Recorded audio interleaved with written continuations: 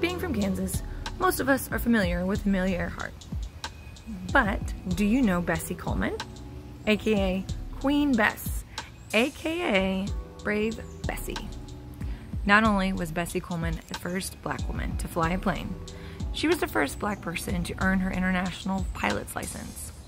Bessie Coleman was not accepted into U.S. flight schools, but she'd heard of women who'd flown for France during World War I.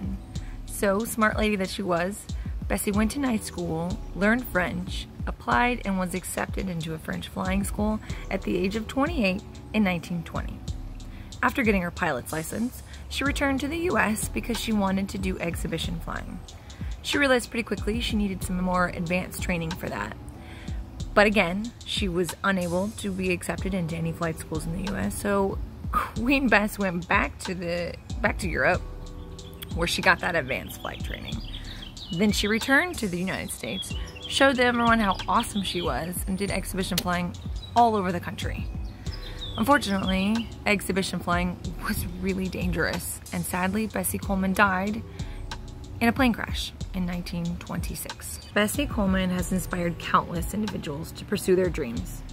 She fought social, racial, and gender biases to become a pilot. She refused to take no for an answer. Now you know all about Bessie Coleman.